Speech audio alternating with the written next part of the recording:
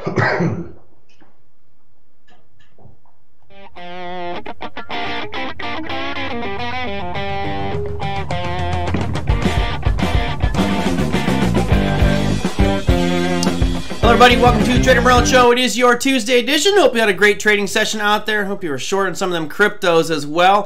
Um, I always encourage you guys to bring on, or at least let me know about people in the industry that you find interesting, that have uh, great arguments about a specific asset class, whether it's bullish, bearish. I don't care. It's nice to get people's opinions from different perspectives so we can formulate our own opinions about where we think things are going to go. Now, I forgot who sent this gentleman to me, but you sent me a video over the weekend, and it was a great video talking about potential issues with the bond market. Of course, last week we had a bunch of discussions with uh, on bonds with Jim Rogers and Bill Addis, but I uh, this one was a very different perspective on it. So we're going to be joined today by a gentleman who's in California, so it's a California Brotherhood today. We're going to talk about the bond squeeze, bond markets. My guest today is Steven Van Metre, CFP. Steven, welcome to the show. Hey, hi Merlin. Thanks for having me. I, am I'm, I'm happy to have you on. You have a lot more followers, so that's obviously a good thing too. But uh, hopefully we can bring some new viewers to you because you put out a ton of great content. Uh, by the way, you should all check out his YouTube page because he does three shows a week on macro markets, and he does one on Sunday called Sunday Night Charts, which is just awesome, great content for you as well. Um, tell me a little bit about yourself, Steven. I want to know three basic questions.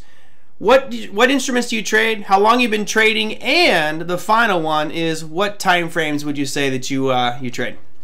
Yeah, so those are great questions. I've been investing since I was, uh, I think, 16, maybe maybe a little younger, but definitely uh, in my teens. My, my dad uh, got me started early.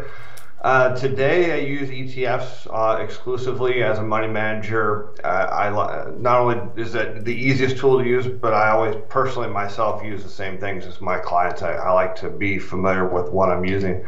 Uh, time frames, uh, three to five years. Wow. Okay. Long term. Yeah. Macro. Yeah. And and you're pretty much in with everything, right? I mean, I noticed through you're you're doing equities, you're doing bonds, it, it whatever is an opportunity out there, right? Well, I mean, it is as a investment professional, you can't just say I'm. Well, I mean, you can. You can say I'm going to be specific in this, but you know, you've got to be able to. Uh, be what the masses need, you know, and people are very comfortable with equities. I may personally not be, but hey, there's a lot of people that like them, so I obviously need to have something for them. Excellent. Um, all right, let, us go and start off with the topic du jour. I'll go throw the, the bond squeeze graphic we created here. Uh, I love the Bond King hat, by the way. I do like your little crown that you wear when you talk about bonds. Um, in that video, you were talking about you know the obviously the market has been just crushing bonds to the south side. We've been seeing yields spike, and, and the, the trajectory I think is what concerns a lot of people and how quickly it's changing. But you make a very compelling argument that we could actually see those yields come crashing back down due to a squeeze on the bond market. You want to explain that a little bit? Yeah, and I think part of the before we get into the, the squeeze is why does that happen? Why why will interest rates fall? Why will Treasury yields fall? When virtually nobody thinks that's possible, is when you're at this stage in a recession or slowdown in the economy you get this view that inflation is coming. So people start bidding and shorting the bond market uh, so that way they can drive yields up. The problem occurs is there's not enough money supply growth to support those higher yields. And so rather than it lead to an expansion of credit as money is chasing you know loans, it actually leads to a deceleration and, and even worst case scenario contraction in credit. And so ultimately you get lower interest rates, which again is something that very few people understand. Mm-hmm. To couple that with, I mean, one of the things we know is obviously the Fed keeps the short end of that yield curve. Uh, you know, they're manipulating that one, and of course, we can make the argument they're manipulating everything. Uh, no, no, no, no, they're not buying T bills at all. There, but that's a question I'm gonna say: is are, are they going to move into buying a longer term maturities to bring in that long end of the yield curve? They already are. They've, they've been buying. That's and that's one of the things that people don't understand is like, how can you be bullish on bonds? Well, for starters, the Fed's buying ten and a half billion of 30 year, specifically 30 year bonds per month.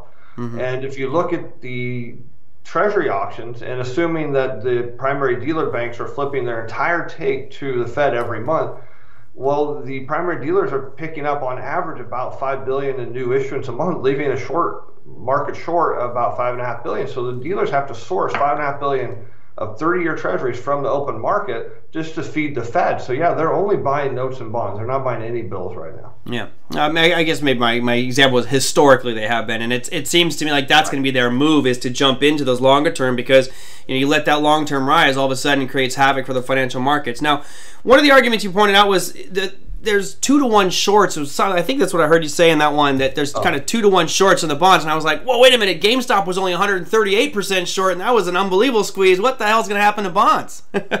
yeah, I, I, if I said, well, since I don't edit my show, I'm never sure of what I, I say. I do prone to make mistakes, as we talked about before. Uh, so if we look at the big picture, there's this massive short position in bond futures, and probably the largest, is specifically if we look at the 30 year which is, was a four standard deviation short, is probably now about three and a half standard deviations, but it's still uh, in the realm of there's never been a larger short position in the long bond. But all the, across the curve from notes uh, into bonds, there's a massive short position. You look at securities like TLT, it has the short interest is the highest in three years.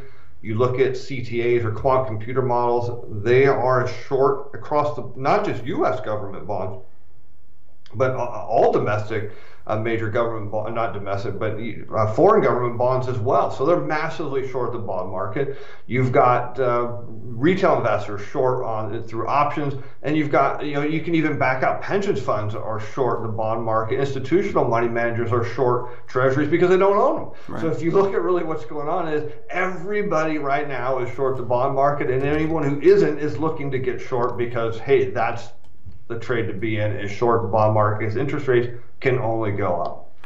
You know, I'm looking at the chart here um, of of TLT in particular, and it's one of those things where it's like if you if you weren't if you're trying to short now, where were you? You know, six months ago. I mean, obviously the TLT has been traversing side. Oops, I just moved my charts. Off. The beautiful part about live TV uh, has been traversing sideways, had that big chop, you know, from March all the way through August, and all of a sudden we've been in this prolonged downtrend starting in August of last year. So, you know, this is one of those. Uh, the analogy is the trend is your friend to the bend at the end. But what we're seeing now, particularly on TLT, uh, my viewers know I'm a big fan of volume. I think you are as well is yeah. you have climactic volume on TLT. And it's not just TLT, it's other bond products. And to me, that usually signifies a, a, turn in price. Not that it's the, the absolute reversal of price, but just that there might be a turn.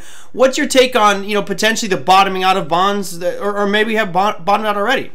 Yeah, I, I, I, do think this is bottom. I'll, I'll, tell you what, it's kind of you nailed it on the head with volume. If you look at last Wednesday, Thursday, Friday, and then and Monday, if you take the total trading volume of TLT and then cut it in half because we know half for buyers, half for sellers, and then you go look at how many shares are issued. There's 99 million shares of TLT out there. Mm-hmm. 69% of all shares in TLT traded hands in those four days. that's now, crazy. if someone wants to tell me that that's just a tr- like a short-term positional change, like I, I, would like to know why 69% of those shares traded hands and the people that bought them are going to turn around and sell them. I don't mm-hmm. think that's going to happen. You know, and it, it goes back to historically, retail investors are typically on the wrong side. I mean, it's it's a horrible thing to say, but statistics and math shows that retail traders are generally wrong. Is that what you're chalking that up to? Is just kind of the retail sellers saying, "Hey, I'm either selling my TLT or I'm jumping on the short wagon because the trend is so strong down, and they here we are right at the bottom."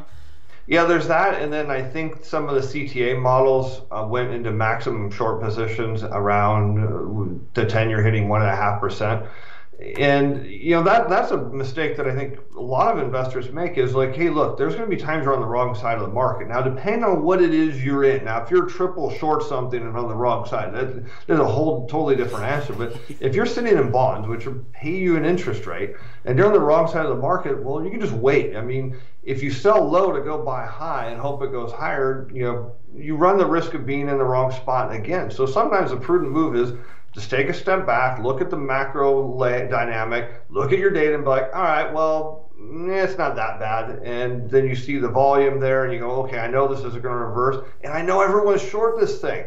And short squeezes can get really, really violent to the upside. So it's like, yeah, why would I want to get out of this uh, when I know everyone's on the wrong side of this market? Um, you know, you mentioned some sources that you had for looking at the the short interest. Now, with equity markets, you know, I, I'm I've been shorting for years ever since I started short term trading back in the late '90s. Um, you know, shorting for me was the holy grail because I never heard about this in college. with the bond markets, it seems to me like that might not be as transparent to see what what percentage of those bonds are short. You know, I can go and pull up lists right now of shorted stocks, heavily shorted ones, and just buy those because they'll shoot up like Rocket did today and, and GameStop and AMC. With bonds, is it is it a lot trickier to spot that short interest? Because I, I, think you've got connections so you can see it. I, I, I don't have those connections. Yeah, there's some places that I found data. The problem with the bond market that you, the reason you can't see it is because of how shorts can happen and when when someone comes along and shorts a bond, they actually borrow it from the dealer. And the dealer still holds the original version, and they actually make a copy of that bond. I mean, it's identical. And, and so they give that to the short seller. The short seller sells it on the market, receives the money for it, and then usually goes out and buys risk assets. And that's why we see the relationship that interest rates rise and stock prices rise generally together and fall together. Now, the problem is if you look at the bond market, the treasury bond market, there are people that have done some research, and not many of them, but a few people are trying to figure out for every one real bond, how many copies of them are out there, and the answer is over two. Yeah, that's crazy. And how? So how do you account for that? If if if you know, Merlin, I came down and visited you, and I made a copy of your car, an identical copy of it. How would we know which one's the original? Because they're identically the same. Yeah. And so that's the problem. There's no way to really account for just how big this is. But when you get this short selling happening, the reason you get these large moves in the bond market is because they can make multiple copies of this bond and just dump it onto the market and dump it onto the market.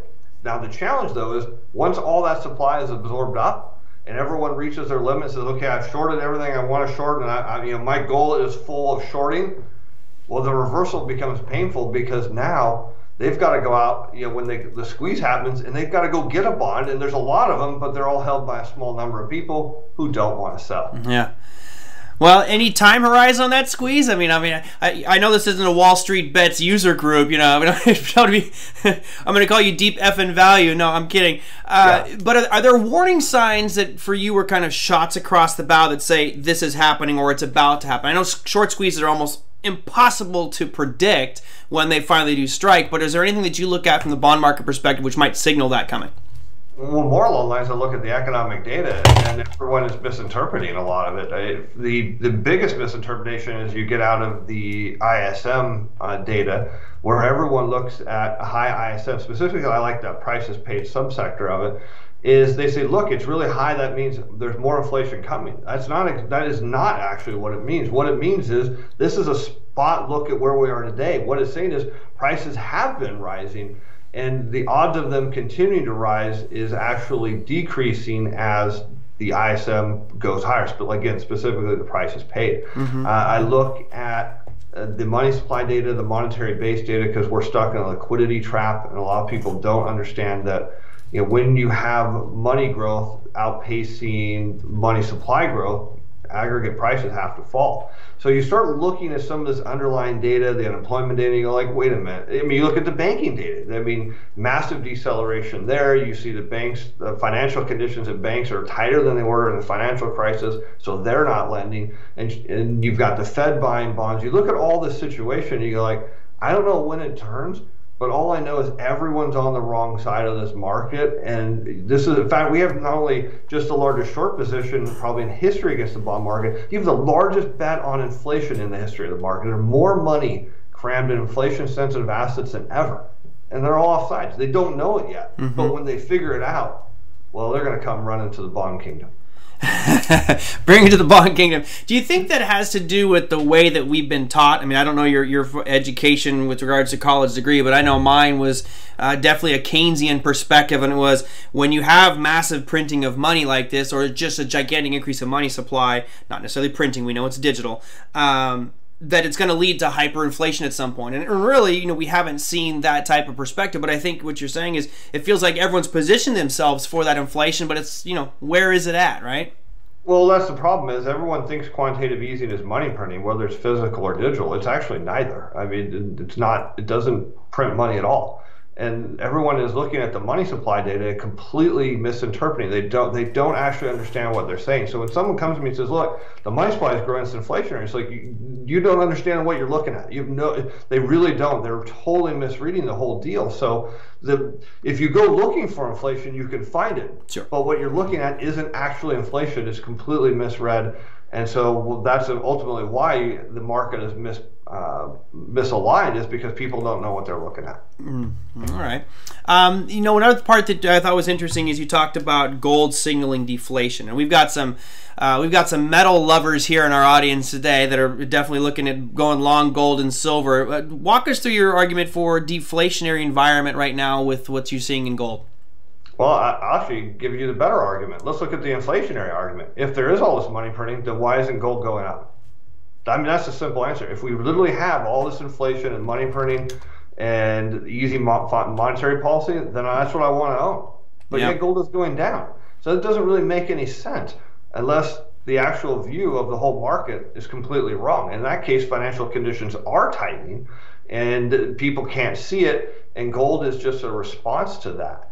And then, so what will happen is at some point we should see gold continue to fall, and then bonds. Normally, people, a lot of people understand that bonds and gold are actually trade similar. They, they're they're very highly correlated. But there is a point where they flip, where bonds will start to rally, gold will continue to fall. That's your risk-off move. So gold is actually just following bond prices lower. But what will happen is it will start to trigger a rally in the dollar. So the dollar's real weak and we know that gold and the dollar are not always inversely correlated, but they're frequently inversely mm-hmm. correlated. And so what will happen is all of a sudden there'll be a risk off move. The dollar will start to go up. Dollar is just a zero duration bond. Effectively, bonds start to go up. Major risk off move. And then again, comes back to the fact if this was all happening and we were allegedly money printing, then gold should be going up, not down. So is it a question of one of these things going to break uh, one way or the other? Because I mean, you know, in theory, which I think what most people believe is we are in an inflationary environment or heading towards it. Of course, the Fed targeting 2%, who knows what that joke's all about. But, um, you know, in theory, you would see gold pick up. So are you are you bullish on gold? Uh, over the long term, but I've always said that when I sell bonds, I will be buying, you know, a lot of lot of gold because what will happen is when bonds peak, gold's going to be crashing down at the bottom. Yeah. Um, one thing that has uh, concerned me with regards to the bond market is, you know, historically, and you're a certified financial planner, so you've, you've done a lot more education than I have, but when I was getting my finance degree and I worked for a financial planning firm, you know, there's this cookie cutter model where it's like, okay, take your age, subtract that from 100, and that should be your percentage that you're going to be in equities, right? So, okay, I'm I'm 40 years old, I need to be 60% bonds and 40 or sorry, 60% equities, 40% bonds you know that is such a, a, cliche cookie cutter thing but what it does tell us is that those that are nearing retirement or getting near should be more heavily allocated in bonds. And i am you know for the past couple years i've been just you know uh, upset or frustrated because it's putting people in an asset class which historically has been very safe but given the volatility going on now it, it, are bonds really that safe for somebody that's in their golden years well, yeah, if you think the yields are going to zero, like I do, there's amount, you know, price. You know, I, I, I'll, people think like they'll email me and say, "Well, I don't understand why you're the bond king. Do you really like making two percent interest?" and the answer is that's not why I invest in bonds. I invest in them just like someone would buy an equity. I'm looking at uh, if the 30-year long bond goes to zero or near zero, you're talking potential 40% upside return mm-hmm. somewhere. I haven't run the numbers here recently, but the upside return is substantial. So the reality is for someone older is, yeah, I mean, who cares about the interest on it? What you're looking for is price appreciation. Yeah, well, I mean, what we've seen, you know, seen recently has been the exact opposite of that, though. You know, you're looking at the TLT, which I'll bring back up here. You know, that someone who's been holding bonds, and yes, it's a small window of time, just the past six, eight months, but you know, you're down pretty significantly, and and I, I know that there's some people who are feeling some pain out there. I agree with you. Long term, you're probably safe, but you know, the shorter term end of that is going to hurt some people. I think. Yeah, it comes back to investing time horizons. But if you pull a chart of, say, the 30 year yield or 10 year, doesn't matter, pick any one you want. Yeah, I've got them up. These backups and yields are always rejected, and they're rejected with lower yields, with yields making new all time lows. And it simply comes back to where we started the conversation of there isn't sufficient money supply growth to handle these higher interest rates. I mean, the evidence was clear last week uh, on Wednesday when we saw mortgage applications drop 11%. Now we get the data tomorrow, but it's just evidence that if you're going to have higher interest rates, which is fine, if that's what we want, we got we can have it, but we have to have enough money supply growth to back it up, and we don't. I mean, the money supply. Even unfortunately, has now gone to monthly due to Regulation D. But just prior to that, over the last three weeks, it was dead flat at zero. and then you add the negative multiplier of quantitative easing, so you actually have a negative, uh, a falling money supply growth. There's no way you can support higher interest rates. I mean, it's not even possible. So that's why what happens is all these shorts, uh, you'll get massively squeezed out, and you see uh, on these long-term charts that every move higher in yields just slam down. I mean, because everyone finds out that, hey, I'm on the wrong side of the fence and I got to get back over. And it turns out, well, everyone's on the wrong side of the fence. And mm-hmm. the next thing you know, yields come crashing down, bond prices go straight up, gold comes down, risk off event and uh, that's uh, that's the move right there. Yeah, well, it, it's that giant jigsaw puzzle with all these moving parts. It's actually I, people call it a jigsaw puzzle. I call it like opening up a classic watch. It's got all these different dials in it, and every single one of them is moving and telling you something different. Um, in watching what you post on your YouTube channel, you are definitely a lot into the fundamentals, and obviously, I think we should all pay attention to the fundamentals because it gives us clues as to the economy and things. Just curious how how trustworthy do you find him? I interviewed a guy. I'll give you a reason why I say this. I interviewed a guy from the Bureau of Labor Statistics five years ago. He was a former employee, and I asked him. I said, "You know what? I'm a trader. I'm an investor, so I rely on that data being legit." And I said, "Do you ever cook the books? Do you ever manipulate the data?" And he goes. We actually do. We manipulate it to fit the political agenda. And at that moment in time, my belief, trust in the data just went out the window. And I, you seem like someone who relies on it heavily for your decision. So, how well do you take in and trust that data? Yeah, yeah, that's a good point. He is right. The BLS, uh, the the the, the, monthly unemployment report is probably the most faked report the government puts out. It started back uh, when Ronald Reagan was president, facing a double dip recession, and uh, he to get out of that, uh, the second one, they've figured out that maybe if we just let people know there's a few more employed than there actually were, that they would go out and spend and it worked. And so the idea became is, look, we'll, we'll, put out a number that's you know somewhere around the ballpark, and then we'll clean it up about a year and a half later, which is why they get these big revisions in it. Uh, I don't actually care for that report at all. I know the market likes it, but there's a lot of other data out there uh, that's not specifically government you know generated data. I mean, like the weekly unemployment data is not faked. Uh, I mean, it's sometimes it's not correct because they're miscount. They got the count slightly wrong, but they fix it the next week. And there's a lot of other data out there that is not run by the government that I like to look at. So um, yeah, I, I think I can trust the data. And part of the reason is my time frame is you know a lot right. longer. As you kind of mentioned earlier, people are you know oh the trend on TLT and, and bonds is terrible. It's like a lot of people now and they trade their accounts more than they change their clothes. I mean, it's ridiculous. I mean, the art of long-term investing. I mean, I remember when people bought a mutual fund and stayed in it for years, or bought stock and held it for years. That doesn't happen anymore. Mm-hmm. Uh, so I think I just kind of represent the long-lost art of taking a long-term view and seeing where you think it's going to go, and then you know, placing a big bet on it and kicking back and just making sure your data is right. Uh, I mean, even if it goes against you, as long as the trend is still correct uh, it pays out big. And, and that's where you hear from people like, you know, Jeff Gundlach, and they asked him, well, you know, uh, great interview with Raoul Pal. He asked him, you know, why do you invest so long and why don't you do your clients that way? And he goes, well, we found out that a client can handle an 18 month investment. That's as far as they can go. And if we don't sell it 19 months, they start complaining. And he's like, but you're, you're really successful. He's like, yeah, because I take long term views and I take really big bets on them and they pay out. You know, and so that's what I do. I think I think it's an easier way to, to uh, to go. Yeah. Um, all right. Cool. Um, yeah. For my, it's been tough for me. And it's funny because I worked for a financial planning firm when I started. Um, back in 1998, well, 96 was a financial planning firm, but then I, I, have discovered day trading back in the late 90s. You know, of course, the gold rush of day trading and uh, fundamental analysis really just went out the window. Now that I'm, I'm older and more mature and have, have, taken my licks, I find this kind of nice merge between technicals and fundamentals, uh, which I think is kind of the sweet spot. But I always have this little jaded piece of me with regards to economic data because I just don't trust. Like like the the the the best one is crude oil inventories. Like I'll say, oh, I think we're going to see a contraction of 1.2 million barrels. Next thing you know, you got an 8 billion barrels surplus. Like, wait, how can you be wrong by 9 million barrels of oil? Well, oil is the most manipulated market in the world. But uh, I mean, there's other things like the bank lending data, and there's other stuff out there that, that is you know, granted it doesn't come out perfect, but they, it's quickly revised in the weeks that follow. I mean, it's there's there's data out there that I think, you know, like the ISM data. I mean, that's definitely not faked. I mean, it's a yeah. it's a third party company doing a survey. It's not government agency. So there, there's stuff out there. Yeah.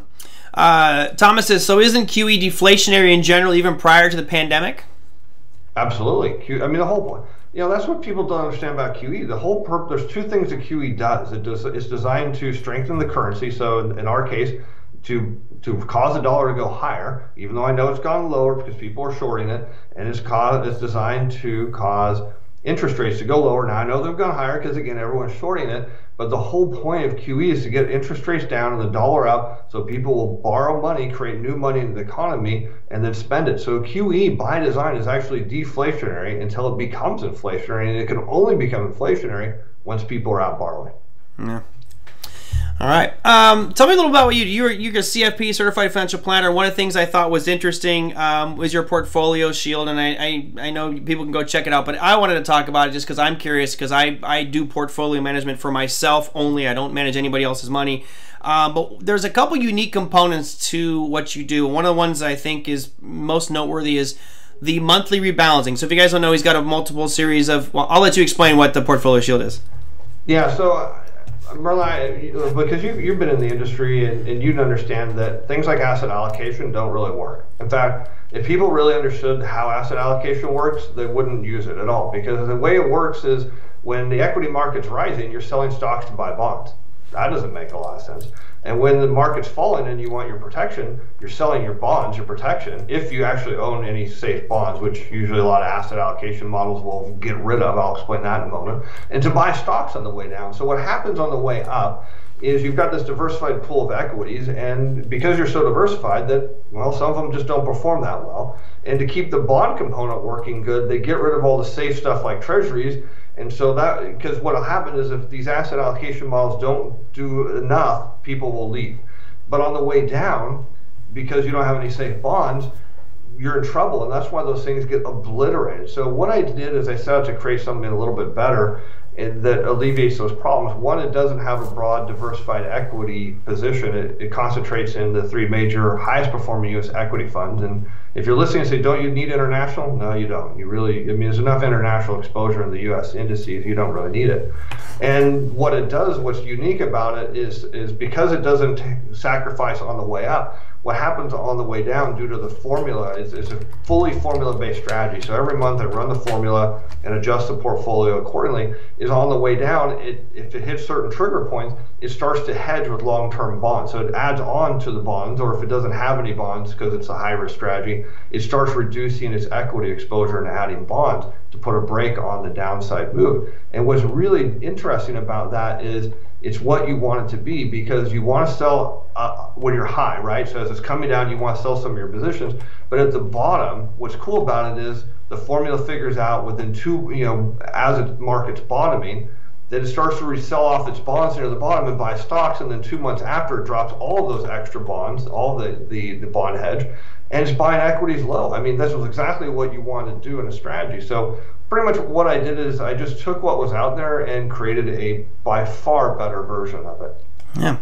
I, I like it. I, I, I, I'm a huge fan of rebalancing, and it's funny when I did financial planning, I was the guy in the back end that was basically just compiling all the assets and, and putting them into spreadsheets. And I noticed that so many people would just get from one year to the next, all of a sudden, one instrument is went from 20% of the portfolio to 50% of the portfolio and it's like oh we'll just keep letting that ride and it's like no the whole point is you want to eliminate not eliminate but let's reduce some of that risk exposure spread it around to something that's been undervalued because it most likely will catch up to its you know its mean and it's a very very powerful tool so I'm, I'm yeah. Guys, it's amazing. Investors do not want. Hey, if it's going up, I'm not going to sell it. But the reality is, you know, I always kind of use it as when I used to go to Las Vegas and gamble. If I was up, I'd take a few chips and stick them in my pocket. So if I lost the rest of them, at yeah. least I had enough to go buy a drink or something to say, "Hey, I didn't, I didn't get completely wiped out." And you know that again is a challenge, as you know, in bull markets, is you have investors get concentrated into a smaller and smaller number of positions, and then when it's time to sell, everyone's selling the same stock.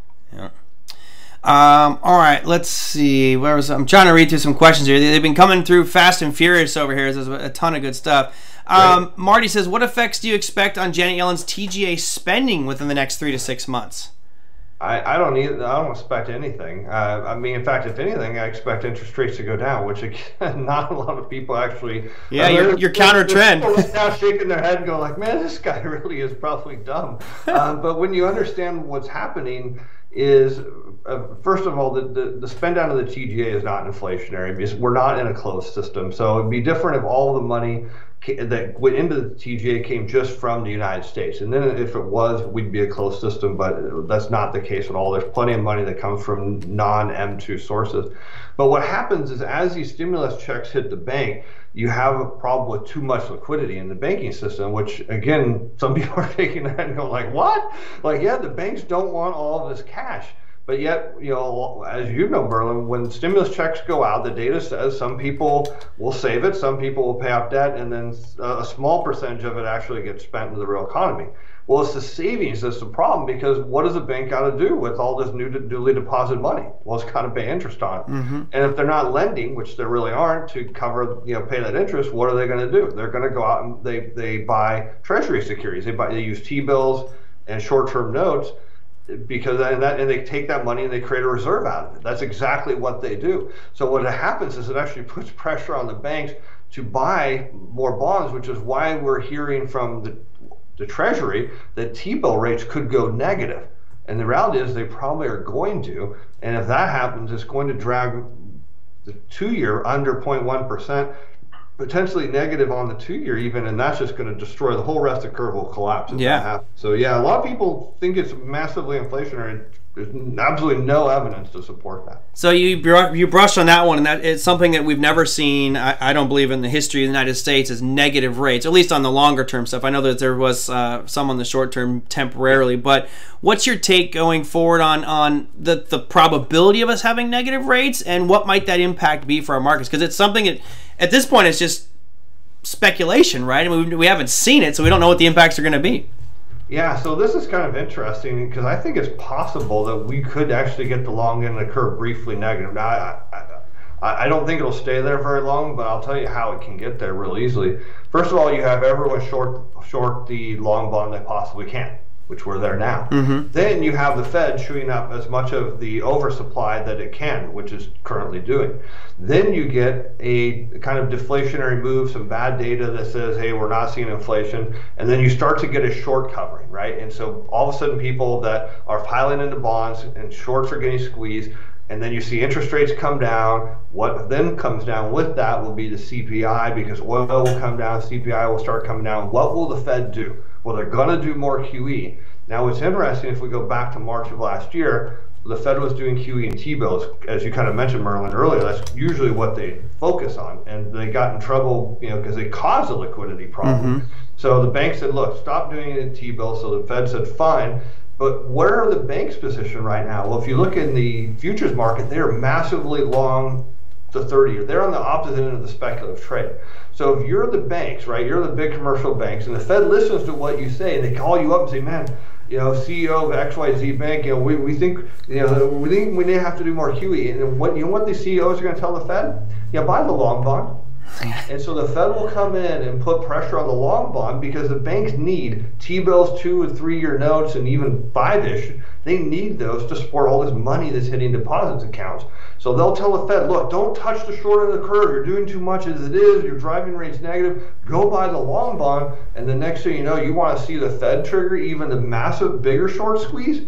Because once they come in and, and, vacuum a bunch of those things up, no one will be able to stop it. Yeah. So yeah, I think it's possible. I don't know how if it'll be there an hour or a minute, but it's I think it is entirely possible the Fed will screw this up that bad. It's just due to market positioning. Yeah. Well, you know, and it, it, it, I agree with you. I, I do think it could happen. It seems incon- if you asked me five years ago, I'd say it's inconceivable. There's no way you're going to see negative, especially on, on long term stuff. But uh, you know, after 2020, may as well just bring it out. Let's go negative. Let's show us aliens and all kinds of other crazy crap that we didn't believe existed before. yeah, now again, I don't think it stays there very long, but yeah. do I think it's possible that it could blip there for a few minutes? Yeah, and and if it does, I hope I'm I hope I'm ready to hit the sell button because it'll be a very nice day. Yeah, absolutely. Uh, Eric, a good comment. He says you want to know when inflation will scream. Bank deposits go down and, and, and volume uh, loan volume goes up. That that certainly be a piece of it. Yeah, that's absolutely correct. I mean, if you want to get inflation, I can tell you exactly how we can do that. One, you can reverse quantitative tightening and raise the federal funds rate. Uh, two, you can do a massive amount of fiscal stimulus. And uh, oh gosh, what is the third one? Um, shoot. Uh, forget what the third. Well, one I mean, I think one of the third ones, at least one that I could think of, would be. I think it's also part of the listener comment here is you you go negative on the short end, your overnight rate, and you force banks to not hold any cash, and therefore they're going to be forced to basically punish us as savers. I won't have any incentive to keep my money in a bank. Let make me go out there and spend that money. Yeah, and I think that's the, the reason we're seeing all seeing all this money pile up in the money supply that people can perceive as inflationary isn't. So this kind of really ties together nicely because, you know, if CD rates, let's say I, let's say I've got money deposited in my savings account, and maybe I'm, I'm not I don't need it right now, so I'm gonna go out and say I'm gonna go buy a five year CD with someone. Well, if if the cost to tie up my money to get a like a fraction of literally a fraction of a percent more, a negligible percent more, I'm not gonna do that. And so what happens is you get all this money piling up in, in deposit accounts. What you need to do is get get it out. Well, how do you get it out? Not lower rates, which is what all the central bankers think. But I guarantee you, if the 30-year long bond was at 8% right now, there'd be a hell of a lot of money leaving the banking system because that means the whole curve is higher. Yeah. And people would be like, you know what? I would gladly go buy and put my money out in corporate or other type of bonds, treasuries, because there's interest there. And that's the fallacy here is that people think shorter rates are the answer that that or lower short-term rates the answer. No it's not the answer at all. Yeah long term oh it, oh here the third item is we need massive amounts of bank lending and we're not getting that either. That that's the third thing. You want inflation you really want inflation you need to have money creation. Well how do you create money? Through, through new loan origination. Mm-hmm.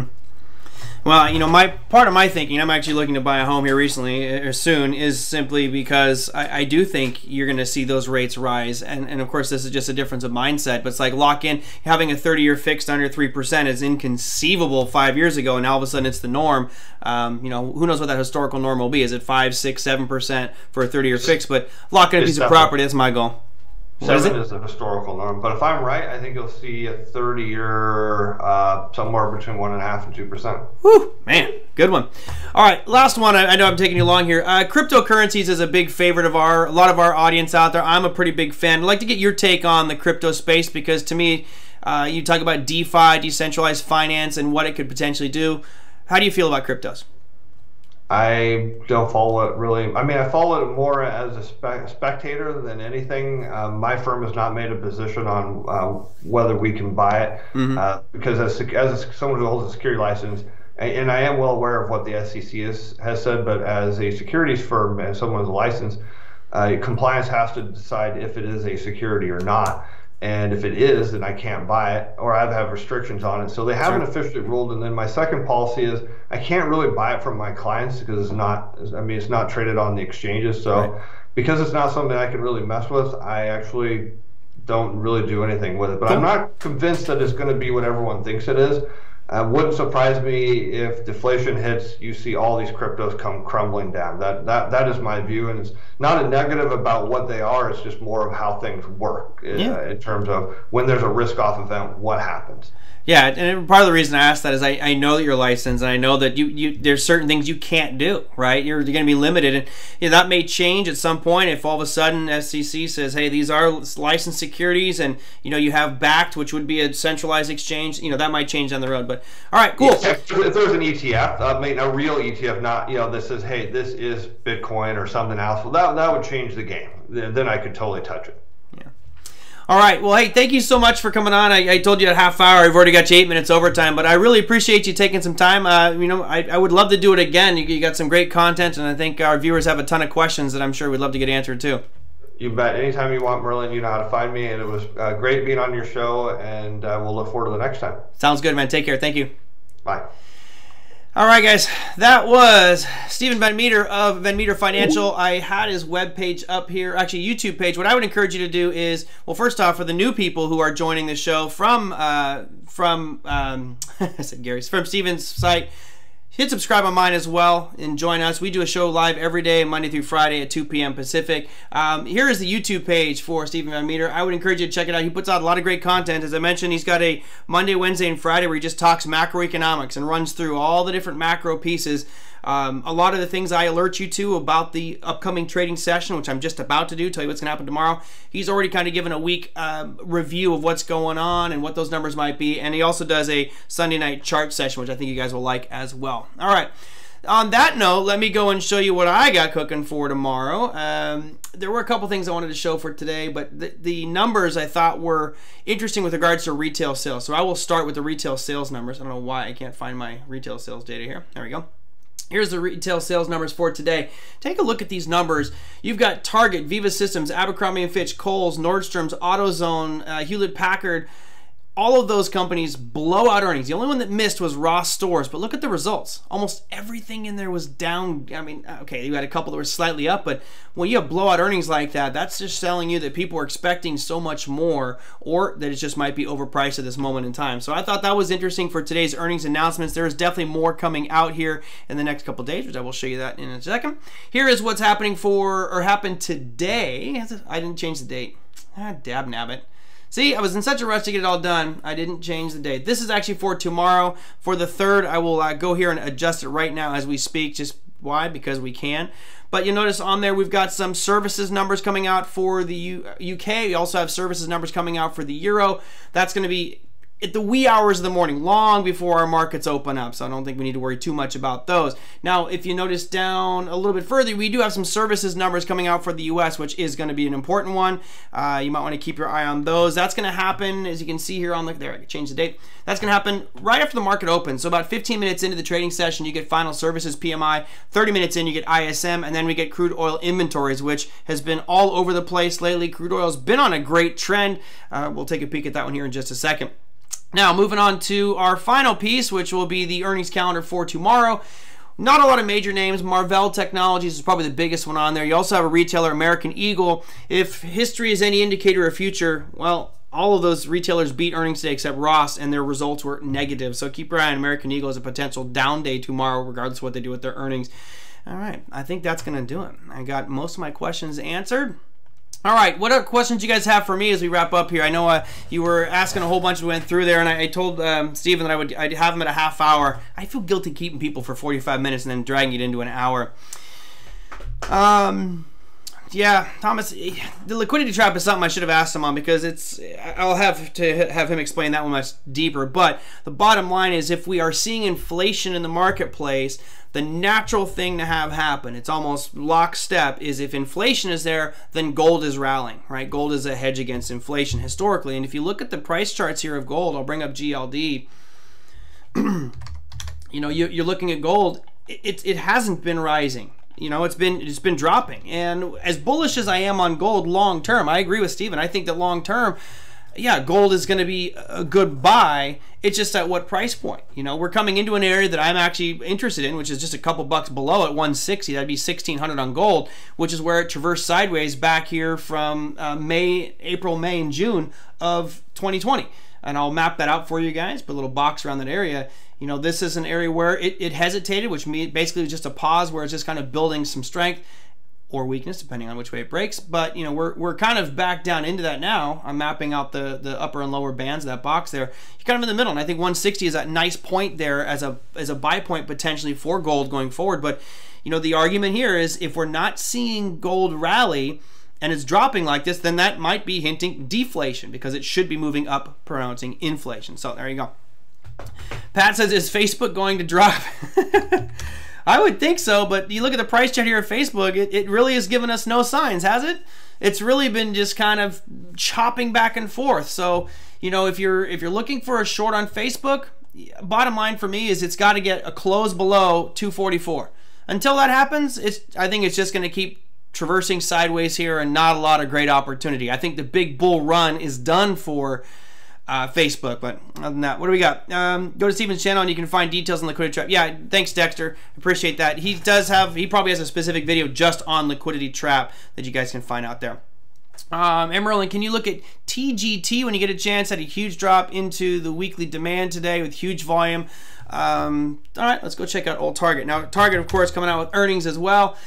Um, the only thing I don't like about this, and you guys might remember the show with Brandon Wendell last, was it this week? God, I can't remember all the shows we have. We have so many damn shows.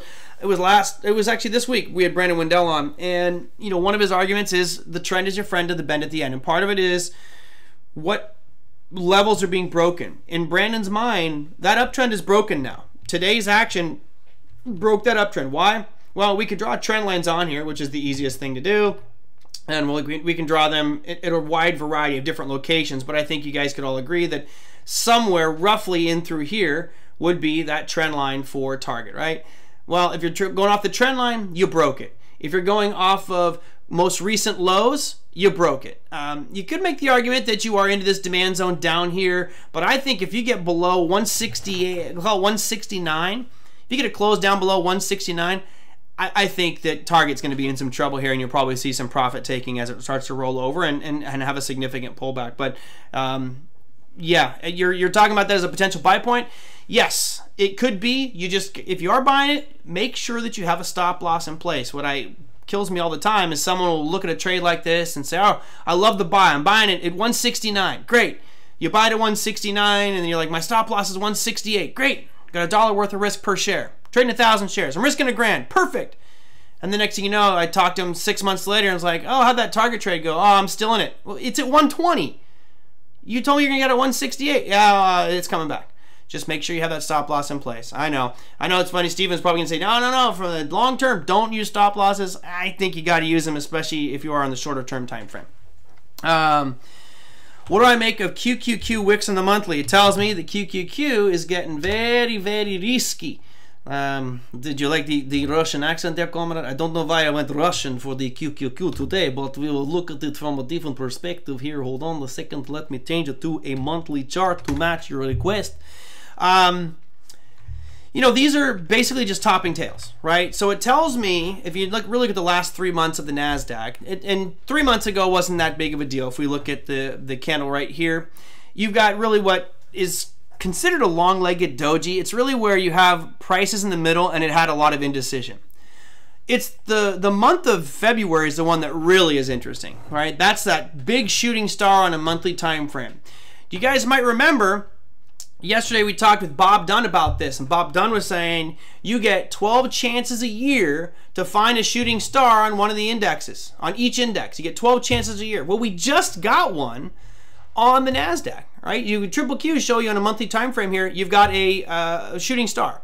So from Bob's perspective, you guys might remember my rules as well. Completely unrelated, by the way. I I am don't.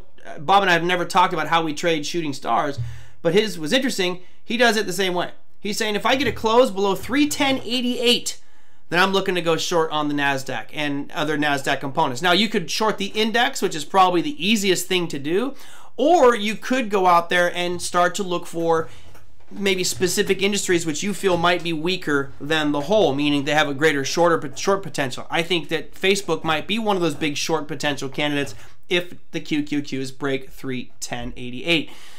So there you go. That's my take on that one. I see it hitting 120. The Qs? The Qs hitting 120? Holy cow, that would be a hell of a. I don't. I don't see that. I got. I gotta say, I don't. I don't see it hitting 120. Uh, at least anytime soon. It, it could, but that's that is a long, long, long, long way away from current price. So uh, I'd be a little, little skeptical with the 120 mark on it. But let me see. If, I'm trying to get the the line to move down here for you guys so you can see that as well. Now, what I'll do is I will put in perspective the time frame. So this is a monthly time frame which goes all the way back into 2016. That would put us back into 2016 levels and you know, now that you say that it's actually very doable. Vodka. I'm not drinking vodka today, Pepe. Oh, okay. Thanks, Kevin. I thought you were talking Qs. I was like, wow, that's that's an ambitious target there, buddy. Triple Qs all the way from where it's at now down to 120. I mean, you're talking a pretty significant, 62%. Yeah, I don't think so. Let's check TGT. Yes, uh, I think you're you're probably good with that. Let's go to a weekly on target. So thanks for clarifying. Um, I do think that there's a couple stair steps here that I think you're gonna have an issue with. I, I, like the 145 mark as well, and then really this big consolidation level at 120 that Kevin's pointed out. Yeah, I think that there's gonna be. I got it. I got it, Kevin. I got it. I fixed it. And who is saying we're drinking vodka on this show? This isn't a Friday. And no, this is not a pint glass of vodka. I'm hydrating today, ladies and gentlemen. Excellent. All right, cool. Um, let's see. What do I got cooking for tomorrow? I didn't go to the charts. Um, what are I cooking for tomorrow? Tomorrow I'm going to have uh, Corey Lane on the program. Actually, Traders Army is going to do a summit on Thursday, so we'll probably talk a little bit about that. But uh, options, obviously, is uh, a, a very energetic and lively topic. Corey Lane, the rock star, will be broadcasting from his studio, both his music and trading studio, I guess. So if you guys have any questions for me or for Corey Lane, you can send them on in at tradermerlin at gmail.com. That's the easiest way to send me questions. Again, I know we have a lot of new people watching the show today, so thanks for those of you who joined us. Um, hopefully you enjoyed Steven Van Metre. If you do, you can uh, click that little thumbs up button. Also hit the subscribe, and if you want, add uh, subscribe to him on YouTube as well. He's got a, a pretty good following there and just a bunch of great content from a longer term perspective, which I think is great. Oh, GD says, but you said uh, to say one QQQ 120 is doable. It's doable, but yep, that would I think if that's where we go into like a major financial crisis because obviously you look at this run from here from 2020, that retraceable, yeah, that's fine. Now I'd have to go out to even longer term, but you know where do we come from from the monthly time frame perspective? Uh, you know, is 120 doable? It's doable. I mean, look, I I saw the S&P drop 50 percent, no problem, multiple times in my trading career, multiple times right? Multiple times. Uh, if QQ falls 120, I'm getting a gun and stashing on cash. Um, getting a gun might be a good thing. All right. Um, I think that having a firearm probably would be good. But remember, I don't think that would mean that we're in absolute economic collapse. We have bubbles, right? These bubbles form and they pop. I, I do think that the NASDAQ and our equity markets are in a bit of a bubble. Not saying that they're going to um, absolutely die, but is it unheard of to see a 50% drop? No definitely not. It's happened many times, and uh, the first couple times I saw it happen when I was uh, active back in the late '90s, I thought this is never going to happen, and sure enough, it happened. Big Eb says won't happen anytime soon. I agree. I, I think um, I think it will happen. I don't know when, and I'm not going to try to make that guess. It's really about letting that market tell you that it's going to be dropping. Um, Merlin, sir. Oh, sir, you make me sound old. Don't call me sir. Uh, besides the deflation argument, would you say that some of the GLD thunder has been stolen by Bitcoin? I, I think so. I mentioned this in the show before. I think what you're having, what you're seeing is all the, not all, but many of the gold bugs, those who are devout gold, gold, gold, gold, are going, you know what? I might take just a portion of this portfolio and put it into Bitcoin. So I think that it's not stealing the thunder. I think that just there's some more attention. It's a new entrant into the space um, and it's not just that. I think that what's stealing the thunder is really the retail population looking at Bitcoin, kind of what it stands for, you know, against fiat money, control your own money, be in charge of everything yourself. To me, that I think is the bigger boom for Bitcoin. But yes, I do feel that um, gold bugs or people who are in the gold industry are looking at it going, I'm a fan. You talk to somebody like John O'Donnell, who I hope to get back on the program here soon. You know, John was, he's a gold bug. He's a gold silver bug. And you talk to him, he's like, yeah, I, will play with Bitcoin a little bit. I'm not going to focus exclusively on it, but now my attention might be split a little bit. Yeah. All right. Oh, Peter Schiff. Peter Schiff, that guy's off his rocker, man. Sorry. Um, okay, last one. Mike LaRusso says, any thoughts on an overbought indicator? This is a really good question, and, and I want to bring up the, the full question here. I think I, I don't think I have it prepped for the show. Let me see if I do. Uh, bear with me as I try to find this one. Um, and by the way, congrats to those of you. Some of you in the room were talking about Rocket the other day, RKT, to the moon today. Talk about a short squeeze. Woo! That was a good one. I'll show you that chart in a second. Here's the question, and I don't have my normal font. I try to keep everything standardized, but I forgot the font today. Sorry. I just copied them over from the email. Uh, Michael says, What's the best indicator or holy grail you use to determine if a stock future is overbought? I hate selling too soon. I bought 10 directional calls on Rocket on February 12th, and it is up a bit today. A bit might be a little bit of an understatement. You're up over 70% today. Not quite GameStop status, but still good. I sold half my position at the stock price about 36 bucks because it was up, and I'm holding for more. Maybe if it continues, if I get lucky, currently as I write this, it's at 43. Huge volume, RSI is at 91. Okay, great question. Two things I think you did. One thing is you did great. You sold half. You're dealing with something that went parabolic, right? So let's go to the daily here on Rocket. It went absolutely parabolic. You sold at 36. There is nothing that you should feel bad about. You you killed it on those options. Are you kidding me? You absolutely crushed it on Rocket. The the thing I'm going to do, I'm going to show you a couple of things here. Number one, I'll show you this price chart, which there is not an indicator alive, indicator alive that's going to say that this is going to be the best time to sell it because it's overbought. This thing is going to be pegged to an overbought situation. And if you bring up RSI, stochastics, MACD, Bollinger Bands, they're all going to say it's overbought, right? Alan just says it perfectly. He says, for short squeezes, indicators don't matter. Now, the only thing I would recommend here is if you are in something that's moving so parabolic that maybe what you do is you shift over to a smaller time frame, an hourly or a 15 minute time frame, and use that as your exit strategy. Because when something goes parabolic, I mean, it's hard for them to stop. Now, uh, let me see. I'll add in RSI or MACD, whatever you guys want. I'll put on. Um, let's. Put, I like stochastics better personally. Right, stochastics is still saying this thing is overbought on an hourly time frame. It actually just gave me a sell signal. You can see that down here at the bottom. Let me get rid of this volume, etc. Remove volume. Um, it just gave a sell signal on Rocket.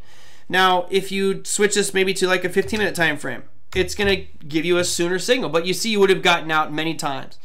So it's hard to use these indicators to determine when to get out on something that goes parabolic. Now, my recommendation is when you see something that does what Rocket did on the daily time frame here, like that, I just want you all to remember three simple letters. G to the M to the E. GameStop. GameStop did the same thing, and look what happened to it. Within a few days, it went from $480, actually, let's say two weeks, $480 down to about 40. That is what happens on short squeezes and pump and dump situations, which is what's happening with Rocket. Not that Rocket can't be great in the future, not that it's not a great company, it just had a huge short interest. Of course, that's the target. Uh, you know what I should do? I should build a portfolio. Maybe that's what I'll do in my free time, which I have literally zero of. Maybe I'll build a portfolio that's long all the heaviest shorted stocks out there. To me, that would be the best portfolio to build right now. Just sit back, wait. When they do this, when they do what Rocket did, you sell half, trail stop the second half, and call it a day. But I would not be using an overbought, oversold indicator on these ones. It's just, you know what it's going to tell you. It's telling you right now that it's way overbought. It could probably lead to more overbought. Uh, Baldhead B says short rocket. Uh, I wouldn't recommend that. It's too risky. Even if you bought puts on it, you're not going to get great value. They're going to be really expensive puts right now. Um, you guys remember when I I shorted GameStop? Uh, let's see, GME. I bought puts on GameStop when it was at 350. That's up here. That was this day, right here. This, I'll zoom out a little bit so you guys can see it. I shorted it when it was right there at 350. The next day it ran up to 480. And when I bought those options, I bought the 90s, which is right there. I bought the nine. Is that right? Yes, I did. I bought the. I bought the 90s or the 180s. I can't remember what I bought. I think I might have bought the 180s. I don't remember. It was the 90s or 180s, but I only made 35% on the trade. 35%. And that thing dropped so much. So they're, they're incredibly inflated right now. I haven't looked at rockets, but I'm pretty sure they're inflated. Maybe we'll talk about that with Corey Lane tomorrow um, and spreads on these things, right? Shorting rocket with spreads because Corey will be much more versed and better at that than I am. All right, great questions, everybody. Uh, and I'm, gl- I'm, glad. It sounds like you guys enjoyed having Steven Van Metre on the program today. Just a lot of great content. Um, one thing I really like about him is a lot of his perspectives are opposite of the norm.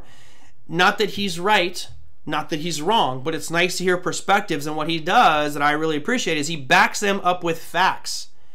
Backs them up with facts, right? I, I love it. He's like, no, I think it's going to go this way, and here's why. Here's my argument.